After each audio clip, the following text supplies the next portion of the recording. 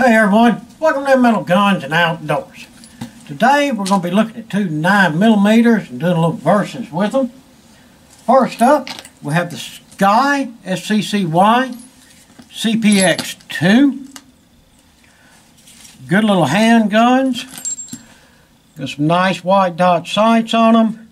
Uh, the dots are a bit on the big side, which I like because I can see them really well. We're going to take this little sky and put it up against the Diamondback DB9. And yes, as you noticed, the DB9 is a lot smaller handgun. Uh, it does have some sights, sort of, but not too bad. Uh, the DB9 is a single stack. Uh, the magazine holds six. Uh, the Sky is a double stack and I got it to hold 10. So what I like to do is just uh, compare these two pistols. Uh, we'll put a couple shots through the chronograph to see if there's any, you know, difference in them. I mean, the barrels, oh lordy, the sky might be a, maybe a quarter of an inch longer at the most. So that's going to be interesting. And then we're just going to have a little fun and choose some steel and check the uh, accuracy on these or how accurate I am with them. Alright, we're shooting some uh, Fiocchi, 115 grain, just regular full metal jacket. I use a lot of this stuff out at the range. I like it. Let's uh let's do the sky first. And to get a good average, I'm going to put three on the chronograph with it. Uh, like I say, my, my normal distance, which is roughly, what, 15 feet.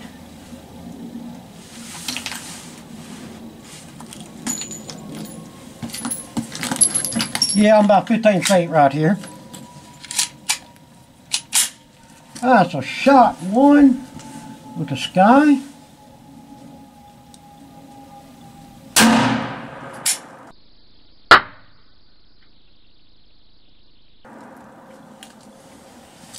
Got a 972. All right, shot two.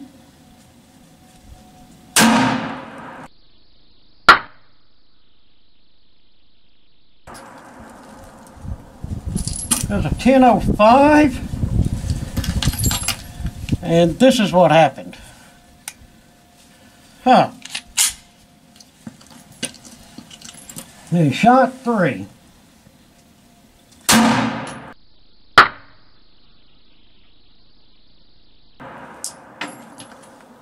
963.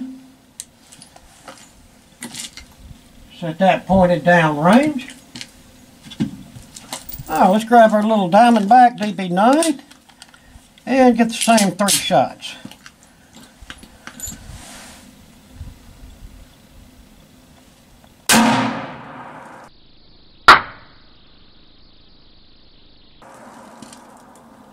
Got a 1004.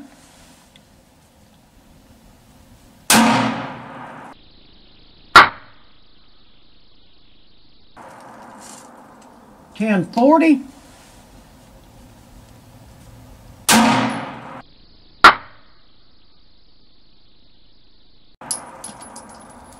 The 1034. Without even doing the math, even though it's a quarter inch shorter barrel, uh, this would seem to do a little bit better on the chronograph. And I'll tell you, it does have a better trigger. It says three more in this one, Let's go ahead on out here and uh, tap us some steam. Alright, we got three shots left in our little diamondback. Uh, let's say uh, hello to Kenny here.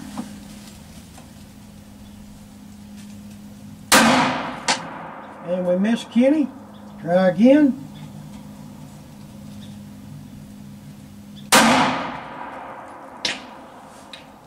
Can I believe that I missed Kenny. Shot this thing before and done pretty good with it.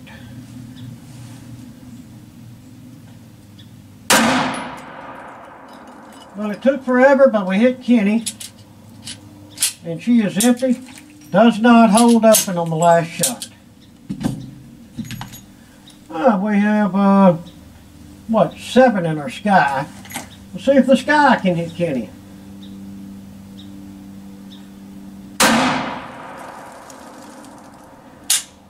And the sky malfunctioned again. Trying to hang up a little bit.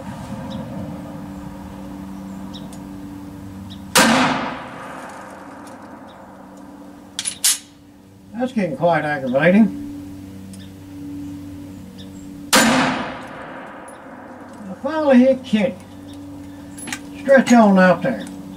Uh, so, now this is a brand new one. I just grabbed it off the shelf. Stop it clean old or anything like that. So maybe that's why we're having a little bit of mishaps with it. Oh, the trigger is a lot harder than that Diamondback. Let's go ahead out there at 50 feet.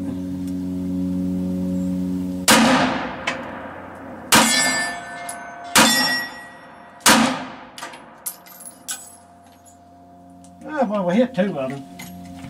Better than nothing. Throw a couple more in our uh, Diamondback here.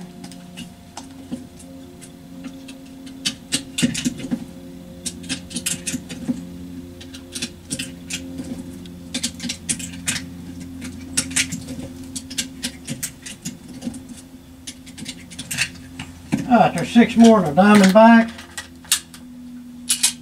Take it out there to the 50 foot mark.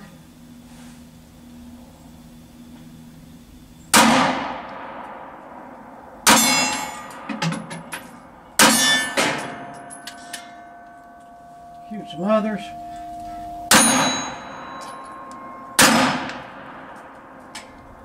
One up there, big yellow. And that is that.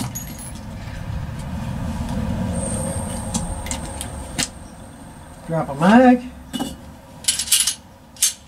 Yes, sir, she's empty. Drop a mag. Yes, sir, she is empty. Let me show y'all these more or less a side-by-side -side comparison there. Pretty cool looking little old pistols, both of them. I mean, they shoot well. Both of them have their pros and their cons. Uh, let's start with the Sky. Uh, it does feel pretty good in the hand. It's a little on the thick side, a little too Glockish for me. Uh, the trigger. Trigger is very, very hard. There's your take up and bang. Yeah, because it is a hammer fired pistol, so it makes it hard.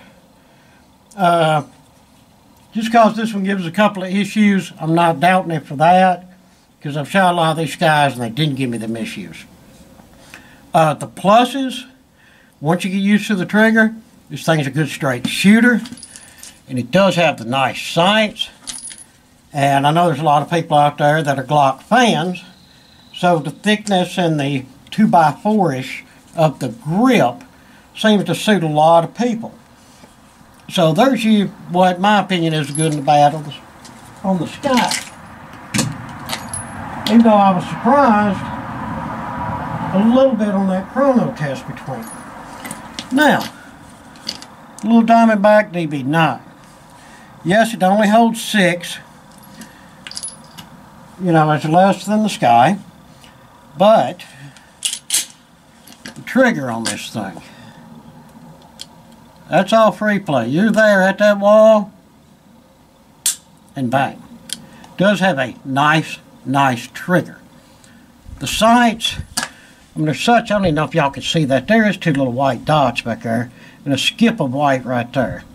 Sights are very hard to acquire on it, and being smaller, the gun's a little more jumpy. But, I have shot these before the accuracy is there and the dependability is there. So, I mean, all in all, it would be hard really to choose between the two. But I just wanted to do a good versus and show y'all that and uh, let y'all make up your own mind as to whichever one suits you. Well, guys, thank y'all so much for watching the video. I hope you enjoyed that. If you would, please throw us down some comments and any questions, suggestions you have. Very happy to hear them. If you're able, hit us up on our Patreon page and show some support there. And guys, if you would, share the video and always hit that like and subscribe. Again, we sure do appreciate it, and I hope everyone has a fantastic day.